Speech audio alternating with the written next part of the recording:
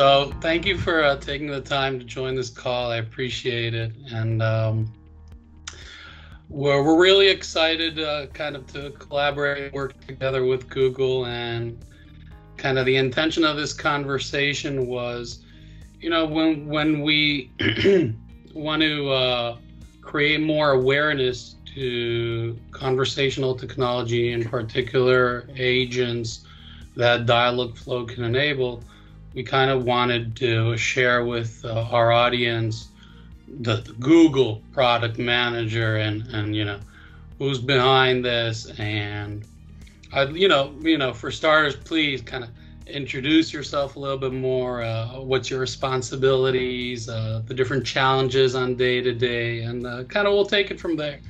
Sure yeah um, so everyone I'm, I'm Shantanu I'm uh, the product manager uh, for Dialogflow. I've been leading Dialogflow now for over two years, um, and it has been an amazing journey uh, because you know we um, Dialogflow was an acquisition. I think, as most of you know, we acquired API.ai back in 2016, um, and it was it was a nice little tool which a lot of developers were using. So I think they had some uh, tens of thousands of developers already on the platform when we acquired them, but then since 2016, we went through the exercise of injecting more of Google's AI into Dialogflow, uh, rebranded it to Dialogflow, of course, um, and now we have over you know 1.3 million developers on the platform, which is it's seen tremendous success. We launched it as a GCP offering in 2018, um, and and over the last two years now we have you know thousands of enterprises who are who are you know serving daily traffic to Dialogflow. So, so it's been an amazing journey. It's uh, it's great to be part of it as, as a product manager and see see this and be you know contribute to this you know amazing growth curve that we are seeing. Um, and I think the space in general, conversational AI and AudioCodes, of course, are also at the forefront of it. It's it's it's a space. You know, a lot of people talk about you know when will AI be really adopted by the enterprises. This space is already there. I think this is one of the happening. first, yeah, one of the first real applications applications of AI in the enterprise space. Um, and uh, you know, around the world, companies are adopting uh, conversational AI for you know, their customer service use cases for transactions, uh, and really building chatbots, phone bots, voice bots. Um, so yeah, it's, it's a great space to be in.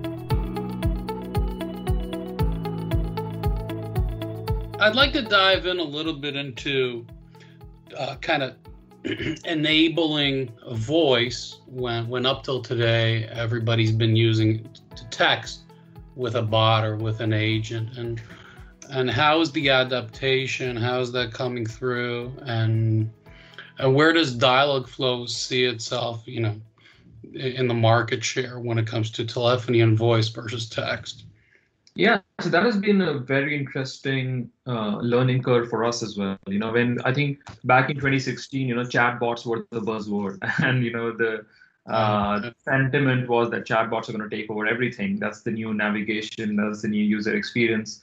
Um, but what we realized very soon, uh, especially around 2017, 2018, was that contact centers are not going anywhere um, especially in uh, you know North America, Western Europe, and parts of APAC market, where making a phone call is free. So there is no cost for you to just dial a number, pick up your phone and dial a number.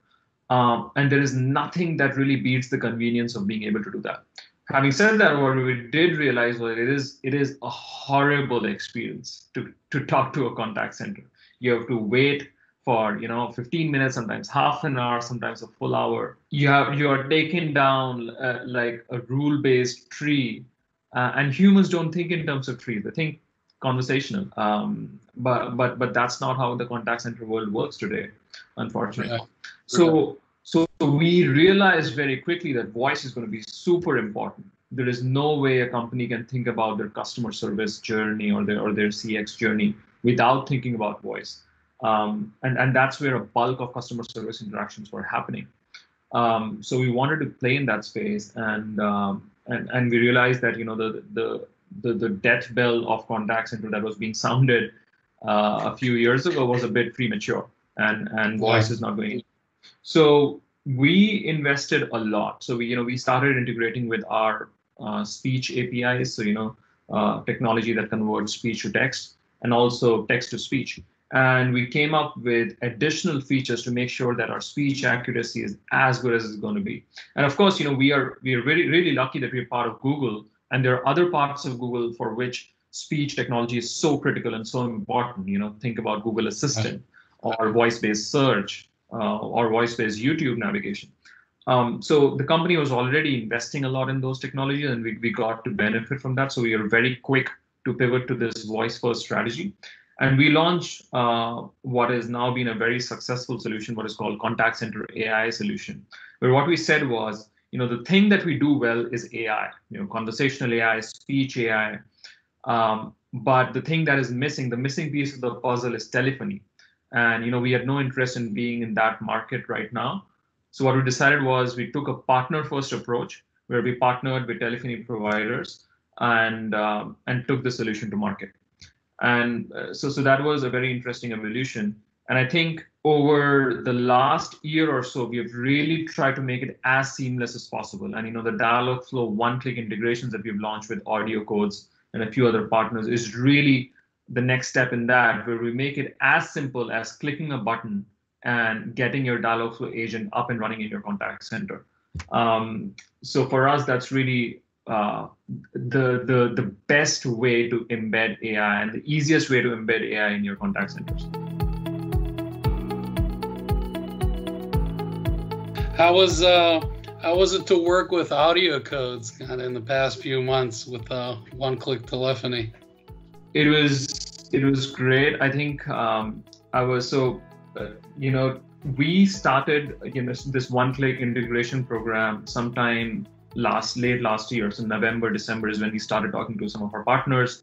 And they started you know building uh, this on their own. And and AudioCodes uh, you know we started our conversation sometime in february. So i was really worried that with you know just six weeks to go before our launch whether uh, we able to really put together a solution. But i was really impressed and really amazed by how quickly AudioCodes could you know push this out work with the internal teams, make sure that the you know it's staffed, the project is staffed properly. Um, so I was really impressed by the speed, the technical ability, and the infrastructure already in place uh, that existed at AudioCodes. Um, and you know we really built this in record time, and we're able to still meet uh, the April launch timelines, and it was a really successful launch. Um, we've gotten a lot of interest in this. Um, so so yeah, I think really really impressed by the team. Yeah, it, it, for us, it was it, it, was an amazing experience working with you guys. It, it took us all to startup mode.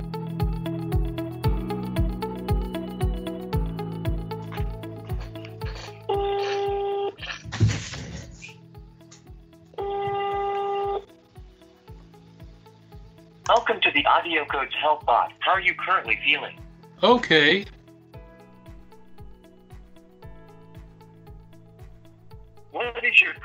Temperature read taken from the past 60 minutes in Celsius? 36.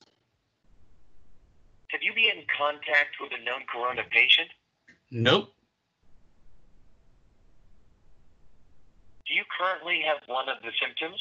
Headache, cough, dry cough, fever, difficulty breathing, tiredness, loss of scent of smell or loss of scent of taste? No. You are welcome to come into work today. Thank you. Goodbye and take care. Okay, and and if I were to call again and answer a kind of yes on one of the questions, the agent would say, "Please stay at home and uh, consult with your family doctor."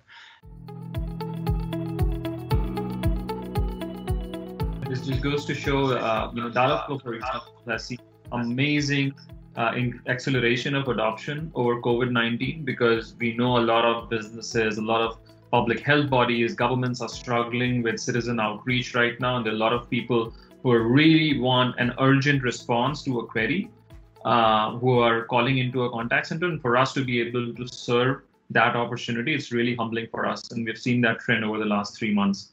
Definitely, definitely. And and AudioCodes has so much experience in contact centers and what we're able to to deploy uh, within you know just a couple of weeks we we have the capabilities to enable the two together and uh, we definitely invite uh, um, developers customers to challenge both companies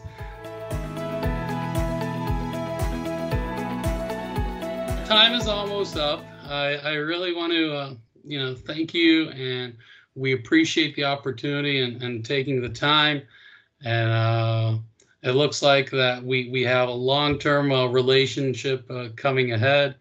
And um, feel free to summarize or or, or share uh, anything else uh, that that comes up no, thanks, thanks a lot, Kobe. As I said, it has been amazing working with you and your team, um, and and I, I'm really, really excited about this collaboration. I'm sure this will go a long way in benefiting developers around the world uh, who want to bring conversational AI quickly to their contact center. So, um, so really looking forward to that.